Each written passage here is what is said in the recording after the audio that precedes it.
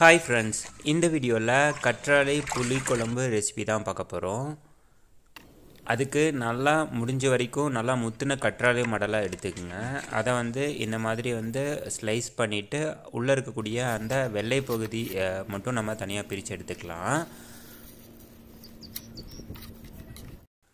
இதை நம்ம குட்டி குட்டி பீசஸாக கட் பண்ணி எடுத்துக்கலாம். இந்த மாதிரி கட் பண்ணி எடுத்ததை நீங்கள் நல்லா கழுவிக்கணும். இப்படி கையில் போட்டு நல்லா உரைச்சி தேய்ச்சிங்க அப்படின்னிங்கன்னா நல்லா நுர மாதிரி வரும். அந்த வலுவலுப்பு இல்லாமல் நல்லா கழுவி எடுத்துடுங்க கற்றாழையை பொறுத்த வரைக்கும் ஒரு ஆறு ஏழு தடவை நல்லா கழுவணும் அப்படின்னு சொல்லுவாங்க. அந்த மாதிரி நல்லா கழுவி எடுத்துட்டீங்க அப்படின்னிங்கன்னா உங்களுக்கு அந்த வளவளப்பு இருக்கக்கூடாது.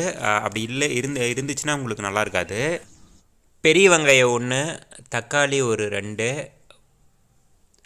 பச்சை மிளகா ஒரு நாலு புளி தேவையான அளவு எடுத்து இது கூட ஊற வச்சு வச்சுருங்க.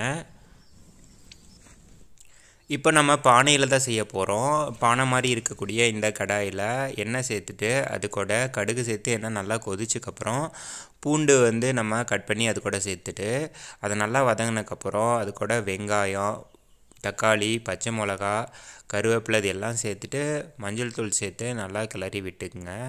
இது நல்லாவே வதங்கணும். வதங்கினதுக்கப்புறம் தான் நம்ம அடுத்தது சேர்த்தணும். இப்போ தேவையான அளவு உப்பு இது கூட சேர்த்துக்கலாம். இது கூட கொஞ்சம் தண்ணி ஆட் பண்ணிக்கோங்க.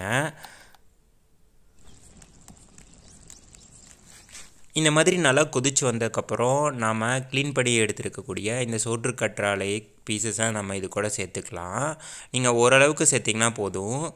நீங்கள் நிறைய சேர்த்துனிங்கன்னா அது வந்து வேறு மாதிரி ஒரு டேஸ்ட் வந்துடும் அதனால் ஓரளவுக்கு ஒரு மூணு மடல் அந்த அளவுக்கு நீங்கள் சேர்த்துனிங்கன்னா போதும் கட் பண்ணி அதுவே நல்லாயிருக்கும் கடைசியாக நம்ம ஊற வச்ச புளியும் கரைச்சி நீங்கள் உள்ளே ஊற்றிடுங்க நிறைய பேர் நினைப்பீங்க சோற்று கற்றாழை சேர்க்கறதுனால கசப்பு இருக்கும் அப்படின்னு சொல்லிட்டு.